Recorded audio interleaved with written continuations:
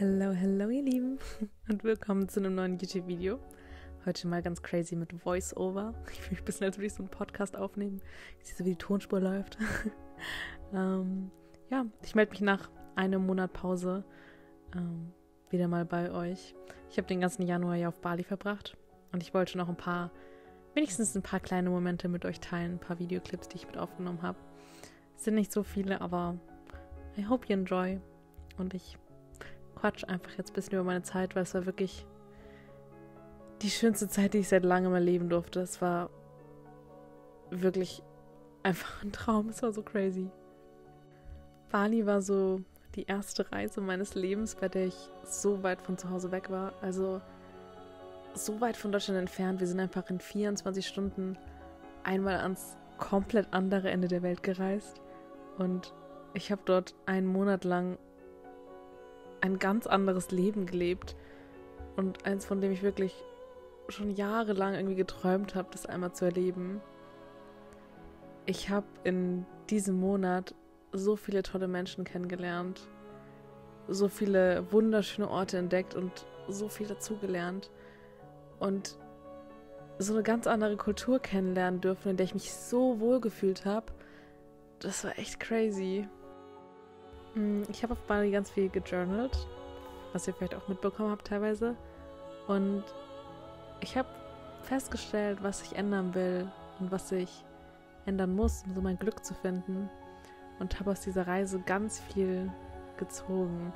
Ähm, weil die letzten Monate in Berlin waren für mich ein bisschen erdrückend und nur voller Arbeit. Ich hatte meinen Kopf irgendwie ich hatte 24 Stunden, 1000 Gedanken in meinem Kopf und habe mir irgendwie keine freie und produktive Minute genommen und mein Privatleben so ein bisschen vergessen und links liegen lassen. Und auf Bali die Zeit war so magisch und es hat sich so auf einen Schlag direkt geändert, dass ich mich so frei gefühlt habe und so. Ja, ich weiß nicht, ich meine, ich bin aufgewacht irgendwie ohne einen Plan für einen Tag und wir waren so, ja, lass mal coworken gehen oder lass mal in das Café gehen. Und ich habe das alles auf mich zukommen lassen und das hatte ich in Berlin so lange nicht mehr. Und das war wunderschön, so den Tag einfach bestimmen zu lassen, was auf mich zukommen soll. Ich weiß nicht, das hört sich ganz weird an, wenn ich das so erzähle, aber es hat einfach unendlich gut getan. Jetzt zurück in Berlin ist mir auch aufgefallen, so Berlin ist einfach nicht mein persönliches Endlevel of Happiness.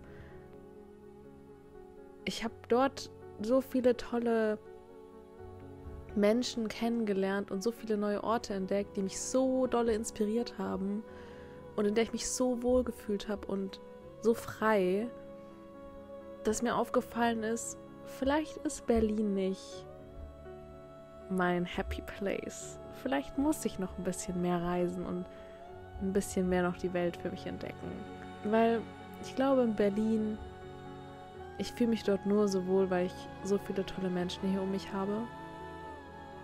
Und ja, deswegen, ich bin in Bali in den Flieger eingestiegen, in den ersten Flieger zurück nach Deutschland. Und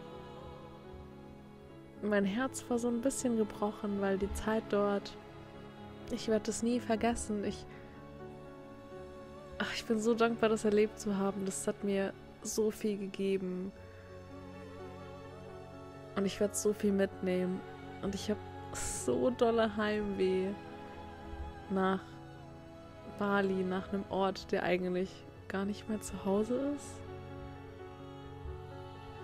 Einfach weil es wirklich ein magischer Place dort war, auch ja, ich noch nicht genug gesehen habe davon. Ich muss definitiv nochmal zurück, weil Indonesien hat so viele wunderschöne andere Inseln noch zu bieten, die ich alle noch nicht gesehen habe. Und deswegen, maybe, maybe I have to go back in the future. Maybe soon. Keine Ahnung, mal schauen. Ja. Ich hoffe, ich konnte euch mit diesem kleinen Video ein bisschen teilhaben lassen an meiner Reise.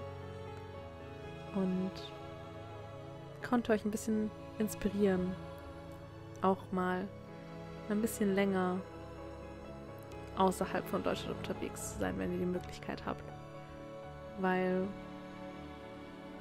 es erweitert so ein bisschen das Gedankenfeld. Und ich wünsche euch auch einen ganz wundervollen Tag noch und würde sagen, wir sehen uns im nächsten Video.